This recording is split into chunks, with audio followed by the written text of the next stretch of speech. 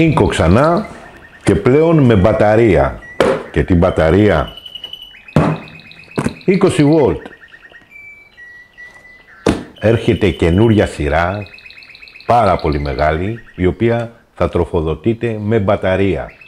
Η μπαταρία έχει την εύκολη χρήση της. Δηλαδή, είμαστε έξω, δεν έχουμε ρεύμα. Κοτσάρουμε την μπαταρία πάνω και κάνουμε τη δουλειά μας. Αυτό που χρειαζόμαστε πάνω απ' όλα είναι η ίδια η μπαταρία. 20 βολτ και φυσικά χρειαζόμαστε και τον ταχυφορτιστή της.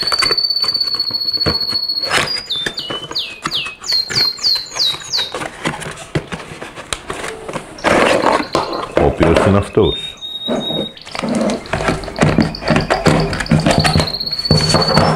Μόλις βάλουμε την μπαταρία επάνω, αυτή θα αρχίσει να φορτίζεται.